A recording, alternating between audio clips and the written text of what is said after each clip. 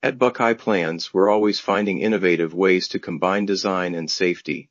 Using the foundation wall tool within Chief Architect, we seamlessly integrated a reinforced safe room into the pantry layout.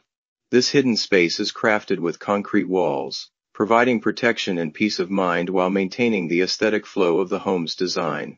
Whether it's for emergency preparedness or secure storage, Buckeye Plans ensures that safety doesn't compromise style.